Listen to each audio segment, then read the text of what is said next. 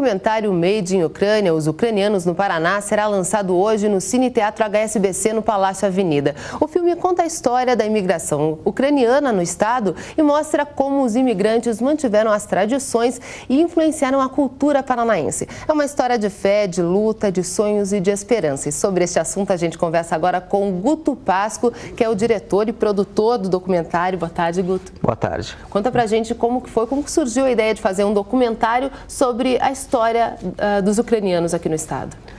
Bom, a ideia surgiu, eu poderia dizer que foram duas as razões pelas quais eu decidi fazer o filme. Primeiro que como cineasta a gente está sempre buscando uma boa história para narrar. E a história do povo ucraniano é uma história impressionante, né? É uma história muito interessante. E a segunda porque eu também, aí é um motivo pessoal que eu também tenho descendência ucraniana.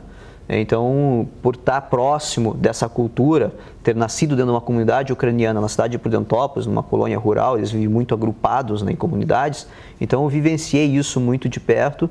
Então, essas foram as razões é, de fazer o filme. E até então a gente não tinha nenhuma obra audiovisual que retratasse a imigração ucraniana no Brasil. São cerca de 400 mil ucranianos e descendentes no Brasil, pouca gente sabe disso, e, sobretudo, 81% está no Paraná né, dessa imigração. Então essas foram as razões para que, que eu resolvi fazer o filme. Tá certo. Então para a gente ter uma ideia do resultado desse trabalho, a gente acompanha o trailer agora. І тут Уші українські, є? Ші українські. То так всі заводила колонія, то старенькі, що старі були, то всі з Європи приїхали разом всі. Так як мої мама повідали і тату, то дуже там було дуже тяжко жити. Por ser explorado por seus vizinhos e pelos invasores, então a população sempre teve dificuldade de sobrevivência. Люди бідні, самі бачите, що бідні. Люди живуть бідно. Houve três fomes, três fomes organizadas que a Rússia, a União Soviética organizou para destruir o povo ucraniano. E o meu avô veio depois da Primeira Guerra Mundial. A Rússia, comunismo fugiu, entrou a Alemanha. Os alemães invadiram aqui e tiraram meus pais de dentro da casa deles. Destruiu a família, é, destruiu a esperança do povo ucraniano. Saímos do é, é, Gestapo, vamos para KGB. As comunidades se organizavam cada vez melhor, multiplicavam-se.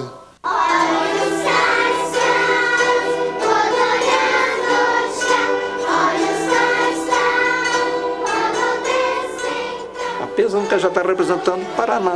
O mais importante do grupo não é o trabalho realmente específico do grupo, que é dançar, cantar, tocar, exatamente mas é o que ele representa em termos de comunidade. Я дуже рада і довольна, що вони підтримують нашу традицію і не забувають за Україну, за наші вироби, за, за наш народ і, і за наш обичай. Що вони підтримують наш обичай, правда?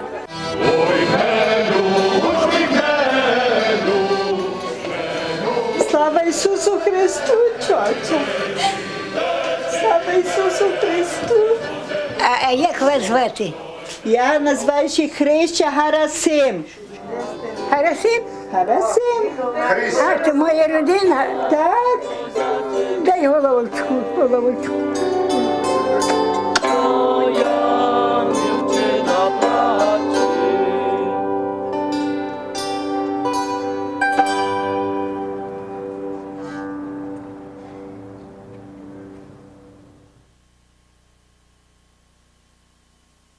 Não existe povo tão bondoso como o Brasil. Tá aí. Agora, Guto, como você entrou nesse mundo do cinema? Você que é de Prudentópolis, né? De Prudentópolis. Meus pais vivem até hoje lá. Na verdade, eu comecei como ator, né? Eu sou ator também, comecei a minha carreira como ator e depois entrei para o cinema, fui estudar cinema no Rio, aí foi uma consequência. Né? E é comecei... é difícil fazer cinema aqui no estado? É muito difícil, não só no estado, como fazer cinema no Brasil é muito difícil, né?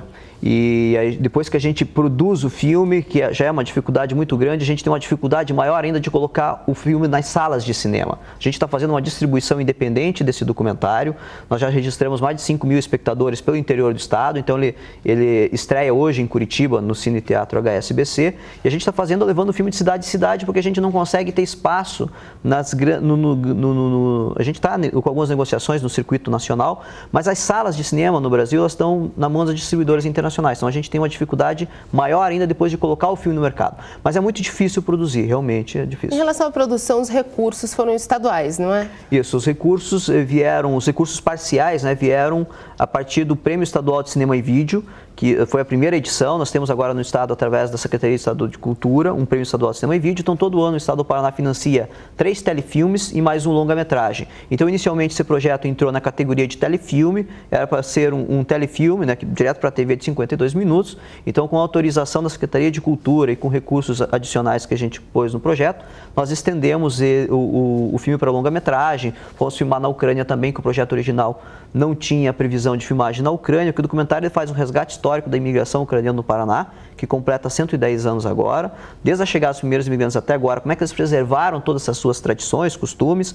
Foram três fases de imigração para o Estado, em épocas diferentes, com um tipo de gente diferente, por razões diferentes.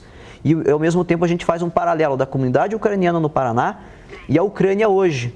Então o que, que o pessoal preserva aqui? Que ainda tem na Ucrânia, porque muita coisa que se preserva aqui no Paraná, na Ucrânia já não tem mais. A língua é uma das coisas nativa, a língua nativa ucraniana, que só se fala aqui no Paraná. Agora, você que tem essa relação pessoal com a história ucraniana, o que, que te marcou mais? Alguma situação das gravações, algo que te emocionou? Tem várias, tem várias ah, assim, situações no filme que emocionam muito, né? Porque é um povo que sofreu muito. Mas uh, a gente teve a felicidade, né? tem, tem um, um, uma senhora imigrante que vive aqui em Curitiba chamada Cristina Haracen, ela veio na terceira fase da imigração, ela foi a, a, família dela foi arrancada da Ucrânia pelos alemães, for, é, foram para a Alemanha, trabalharam 10 anos lá como é, serviço forçado para os alemães. Quando terminou a Segunda Guerra Mundial, eles não podiam voltar para a Ucrânia, porque a Ucrânia já tinha sido dominada pela Rússia novamente, e eles tiveram que vir então para o Brasil, e ela nunca mais voltou, não teve contato com os familiares na Ucrânia. 60 anos depois, ela retorna para a Ucrânia para reencontrar a família dela. Então eu tive o, o, o privilégio de documentar isso, isso está no filme.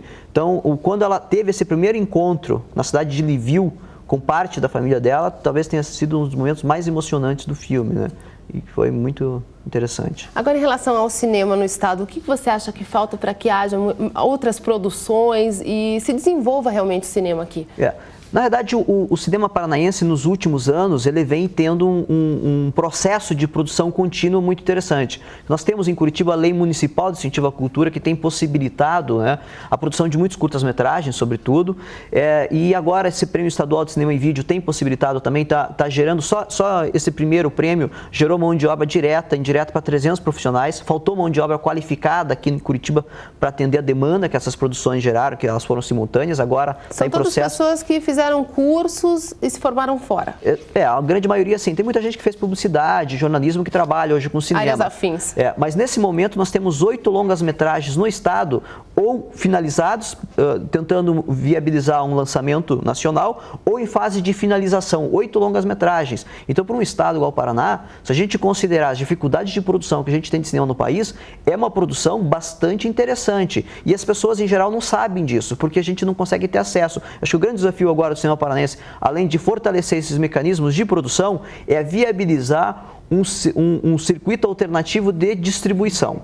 Um festival de cinema paranaense. Um festival de cinema, inclusive a VEC, que é a Associação de Cinema e Vídeo do Paraná, da qual eu assumi a presidência agora recentemente, a gente está organizando uma mostra AVEC de cinema paranaense que deverá acontecer em dezembro justamente para levar essas produções para E com certeza vai ter a cobertura da Band. Muito obrigada. É. Deixa então para encerrar o convite para quem quer conhecer um pouquinho do cinema do Paraná. Ah, ok. Então o Meio do Ucrânia ele estreia hoje no, no HSBC e no Palácio Avenida. Temos sessões hoje e amanhã às 18h30 e às 20h30 horas e retorna no dia 10 e no dia 11 com sessões às 14, 18 e 30 e 20 e 30 horas. Tá certo. Guto Pasco, diretor e produtor, muito obrigada. Eu que, agradeço, eu que agradeço o espaço que a Band está nos dando.